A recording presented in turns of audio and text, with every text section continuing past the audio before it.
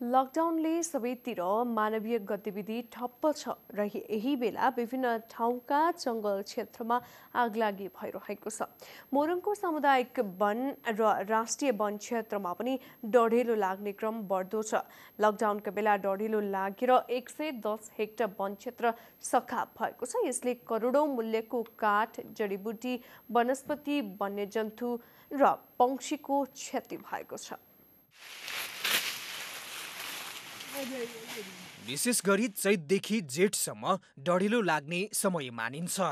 जङ्गलमा घाँस दाउरा र गोठालो जानेले जानेर वा नजानेर डढेलो सल्काउँछन् तर लकडाउनको मौकामा अहिले तस्करले आगो लगाएका छन्। काठ तस्करी र वन्यजन्तु शिकार गर्न डढेलो लगाउने गरिएको छ र दिनहुँ वन क्षेत्रमा लाग्ने गरेको डढेलो निभाउन स्थानीय वन उपभोक्तालाई हम्य हम्य परेको छ। हामीले चाहिँ यो निभाउनु पर्दा भनेको यही जङ्गलमा चाहिँ छ पत्ताहरू त्यही भाँचेर नै हामीले निभाइरहेको छौँ अहिलेदेखि यो समुदाय बङले पनि केही नल्याएको अवस्था छ। एउटा आगो निभाउनलाई लगभग लगभग दुई तिन घन्टासम्म लाग्छ। पच्चिस छब्बिसजनालाई पनि। वास्तविक कुरो भन्नुपर्दा चाहिँ यहाँ सिकारीले लाएको हो कि भन्ने खालको अनुसन्धान भइरहेछ। तत्कालीन हाम्रोमा अब यस्तो आगो नियन्त्रण गर्ने केही उपकरणहरू त केही छैन अहिले हामीसँग। त्यही हामीले सेउला यताउता त्यस्तैले अब अहिलेसम्म नियन्त्रण गरिरहेका छौँ। र अब दमकल सम्बलको अब आउने अब यो पनि वातावरण पनि त्यस्तो खासै केही छैन। होला सम्म पनि अब जङ्गलमा घारीमा छैन। अब त्यही भएर अब हामी चाहिँ यसो अब बेतिन सामुदायिक वनका अब कर्मचारी लगायत हामी सबै सम्पूर्ण सदस्यहरू मिलेर चाहिँ अब अहिलेसम्म चाहिँ नियन्त्रण गरिरहेका छौँ भनौँ न। लकडाउनका बेला मोरङका एघार सामुदायिक र तिनवटा साझेदारी वनमा डढिलोले ठुलो वन क्षेत्र सखाप पारेको छ।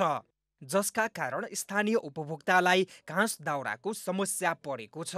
अब यो घाँसहरू अब सबै डढेलो आएपछि मर मारेपछि अब हामीले घाँस काट्नु पनि पाइँदैन। अब यसो सुरक्षा त गर्नुपर्ने सबै भएर होइन? अब सबैले गर्नुपर्छ यो किन डढेलो लागेको हो भन्ने बारेमा अब सबैले बुझेर डढेलो नलाइदिनु हुन्थ्यो। डिभिजन वन कार्यालय मोरङले यसपटक विगतको तुलनामा वन क्षेत्रमा डढेलो लाग्ने क्रम बढेको पनि निष्कर्ष निकालेको छ।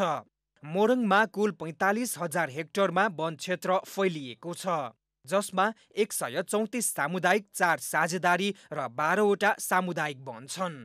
हिमालय टेलिभिजनका लागि मोरङबाट ध्रुव भट्टराईको रिपोर्ट।